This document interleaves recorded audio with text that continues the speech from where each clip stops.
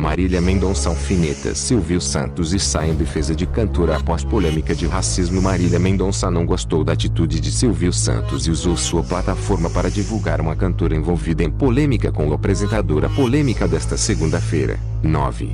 Goiás News Notícias. Sem mais delongas, vamos para a notícia. Envolve Silvio Santos e uma convidada de seu programa. Durante seu programa deste domingo, 8, o apresentador promoveu um concurso de cantoras.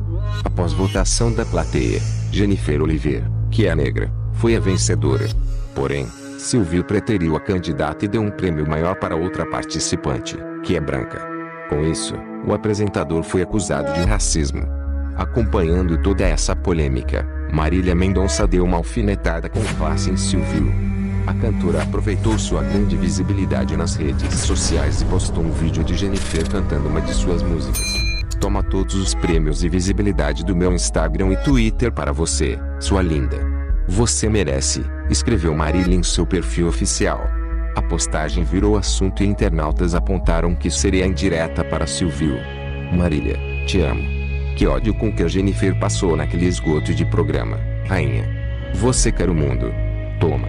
Mas divide com a Jennifer, não pisa naquele programa do Silvio porque é radioativo, foram alguns dos comentários.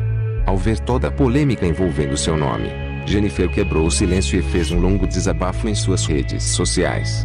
Quem assistiu, viu. O povo sentiu a situação.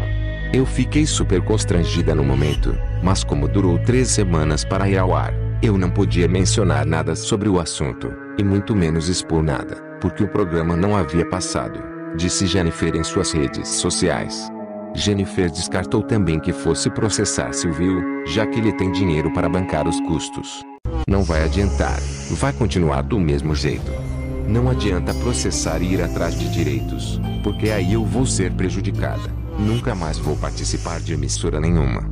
O que manda é o dinheiro. Ele pode comprar advogado, pode calar minha boca. Disparou. Inscreva-se no canal para receber nossos vídeos. Deixe seu like, compartilhe com amigos, ative as notificações. Até a próxima.